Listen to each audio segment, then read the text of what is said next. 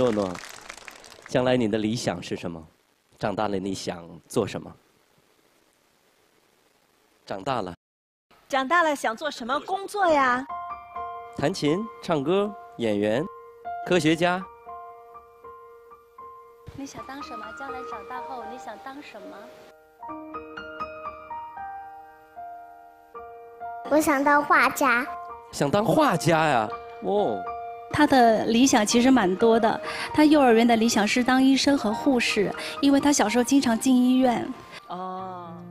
然后后来大班的时候就说他还想当消防员，能够救火。